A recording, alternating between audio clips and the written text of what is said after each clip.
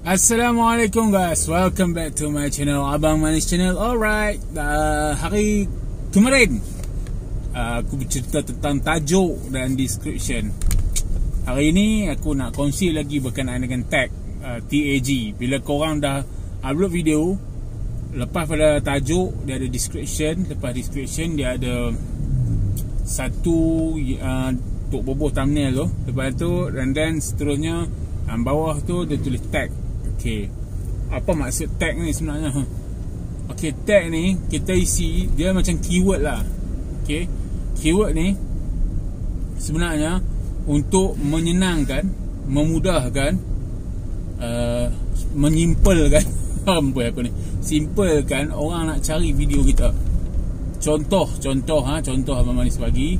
Uh, misal kata dia nak mencari uh, resepi masak kari kan. Dia tulis situ masak kari ataupun gulai ayam kari ayam. And then tag yang kita letak dekat uh, channel kita tu mungkin video kita ni termasuk terranking dalam keyword yang yang dia cari tu masak kari. Tapi video kita ber, mesti berkenaan dengan masak kari lah kan. Uh, maksudnya kita letak teks tu masak kari ala ala sugu pavitra. Jadi dia orang pun carilah resepi masak kari sugu pavitra.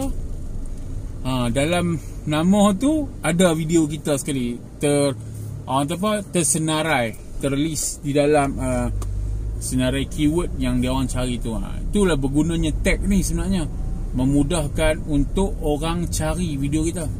Ha, kalau korang tak letak tag kadang memang boleh tak tag pun dia jadi tajuk sebenarnya. Ha, tajuk tu yang memberi kita panggil yang cover sesinjin tu kan. Tapi tag ni dia menguatkan lagi kita punya ses, apa SEO kita tu. Ha, untuk carian di Google sebenarnya. Di Google pula. Di YouTube. Ha, jadi jangan uh, uh, segan-segan jangan uh, malu-malu. Cik letak tag tu tak kisahlah. Yang penting berkaitan dengan uh, video yang kita buat lah uh, macam mana nak letak tag tu sebenarnya banyak cerita dia ni. Panjang cerita dia sebab apa kita kena pakai tube body. Dan lepas dalam tube body tu kita ada keyword explorer ha, kita nak cari keyword-keyword yang sesuai bersama dengan kita punya video.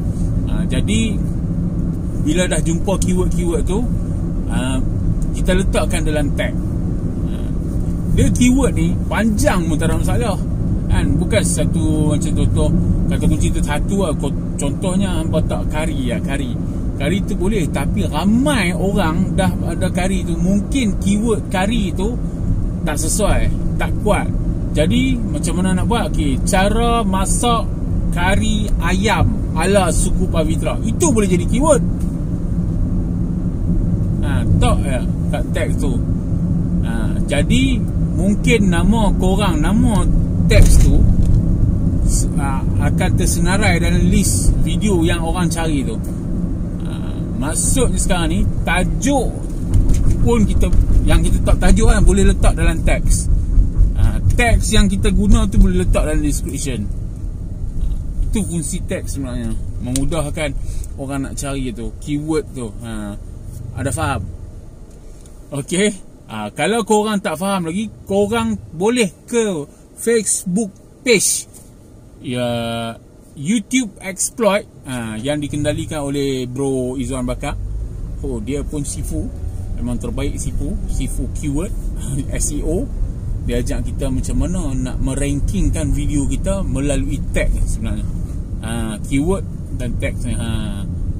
Boleh ikut dia dekat uh, YouTube page uh, YouTube Exploit ataupun korang boleh uh, subscribe video dia uh, channel YouTube dia di uh, YouTube Izwan Bakar. Da, dia sentiasa buat live dan sentiasa review dan dia sentiasa uh, memberi ilmu-ilmu berkenaan dengan uh, keyword-keyword ni lah untuk kita masukkan dalam tag kita tu. Uh, memudahkan. Uh, ramai yang berjaya Uh, video aku pun ada salah uh, dalam 2 3 video yang aku berjaya menggunakan ilmu yang dia bagi tu untuk meningkat uh, boleh capai kepada 10k view. Okay 10k view uh, dalam 500 600 view pun ada. Cuma aku sekarang tak ada nak explore lagi. Uh, sebab minggu ni orang kata apa? Biasalah kengkangan masa kan. Jadi aku tak sempat nak search keyword-keyword yang bagus-bagus. Jadi korang kalau ada berkesempatan yang mana baru nak berjinak-jinak dalam YouTube ni orang kata YouTube pemula ni bolehlah ke Facebook page dia YouTube Exploit uh, Izu, ataupun channel YouTube dia Izwan Bakar. Okay, Izwan Bakar. I Z U A N uh, Bakar. B A K A R Bakar Izwan Bakar. Dia sentiasa buat live. Korang subscribe korang tekan loceng kat tepi dia tu. InsyaAllah sentiasa ada notification yang mengatakan the live. Korang boleh tengok. Korang boleh tanya. Sebab apa? Bila live ni korang boleh tanya saja. Terus on the spot dapat jawapan. Ha, Mudah kan? Jadi jangan segan, jangan malu. Subscribe. Uh, Sifu Izzuan Bakar. Okay, sampai situ dulu berkenaan dengan tag. Jangan lupa like satu kali, komen satu kali, subscribe satu kali channel Abang Manis ni Senyum sikit, janganlah kerak sangat Okay, this is a positive brain. Good gang. Be good.